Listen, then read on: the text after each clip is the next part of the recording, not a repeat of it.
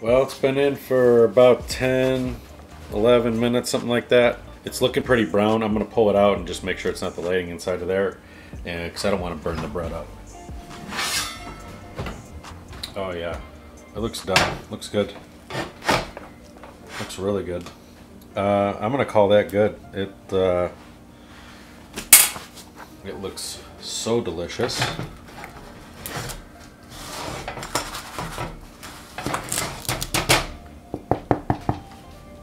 Sounds good.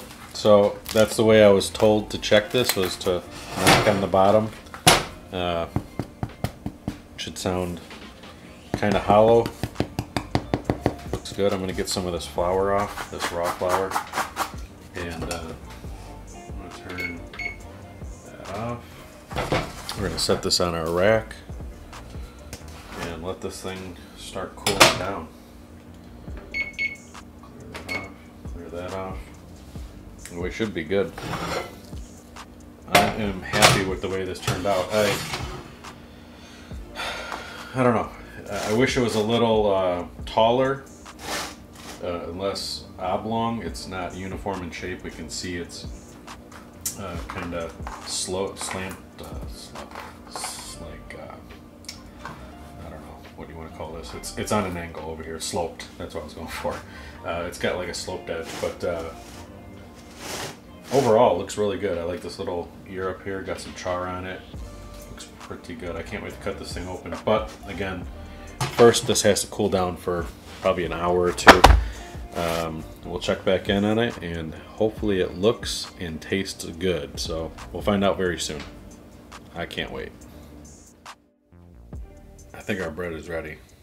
It's been uh, cooling down for over an hour now. It's uh, slightly warm to touch, but it's not hot anymore. So I'm gonna cut this thing in half, see what the inside looks like, and uh, cut a piece off and try it. So let's see what we got. Hopefully it's good. You know, it uh, it feels good. It looks good. We're gonna hope that it is good. So here we go.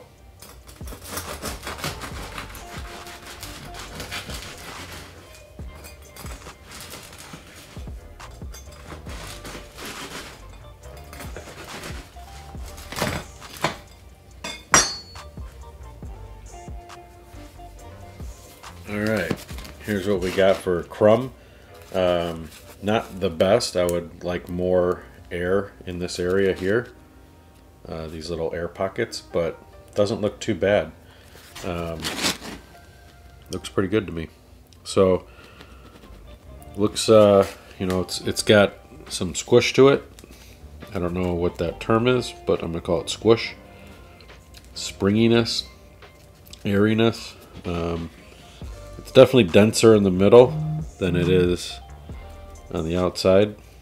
Uh, I'm sure that's having to do something with the way I made the starter or the proofing, something like that, but it smells really good. I'm gonna cut a piece off and we're gonna toast it up and try it.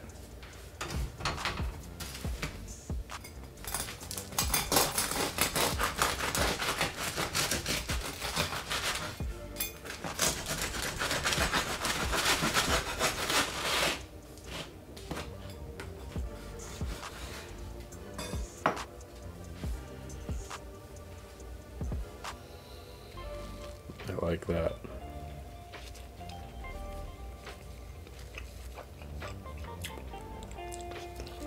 Pretty good.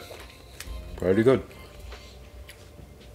Not as sour as I'd want it to be, for my preference, but it's got a little bit of tang to it.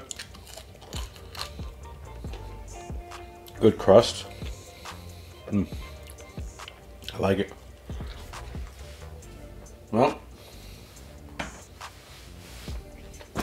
I guess that's it. That's the end of this 10 day journey to make this loaf of bread. Now, uh, I did all this so that I could potentially make more bread for the holidays. So you can see I've got a starter back over there. Uh, I need to get it back to life. I forgot to feed it yesterday. Um, and this is all in hopes that I can make bread next week for Christmas. So uh, I guess we'll see how it goes. Um, if it goes like this, I think we'll be fairly uh, happy with it. But uh, for now, we're gonna call it a call it a day. I'd say uh, thanks for watching. Uh, I know it's probably uh, a long video at this point, but uh, I do appreciate it. If you like what you see, hit the like button, comment below, subscribe to the channel, and as always, thanks for watching. We'll see you guys later.